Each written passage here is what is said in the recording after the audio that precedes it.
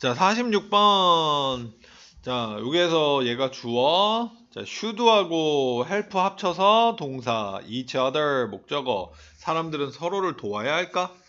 자, 그 다음에 proper help. 여기서는 help가 명사로 쓰인 거야.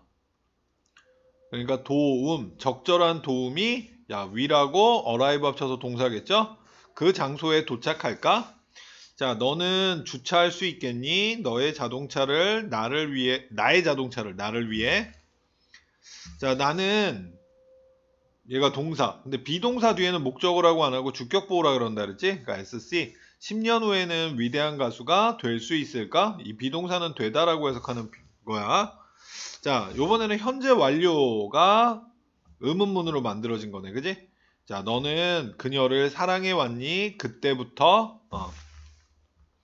자, 우리는 먹어야만 할까? 고기를 이 레스토랑에서 자, 여기 should와 합쳐서 이렇게 음, 그다음에 has lost.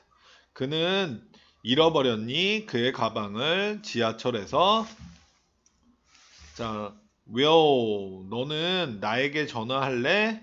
음, 9시 이후에 근데 요 미는 나를이 아니라 나에게라고 해석이 되겠지?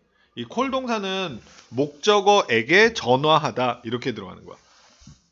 자, 아무나 될 수 있을까? 영웅이 비동사 다음은 주격보라 그랬죠? 그래서 can하고 be 어, 되다라고 해석하는 비동사야. 여기까지.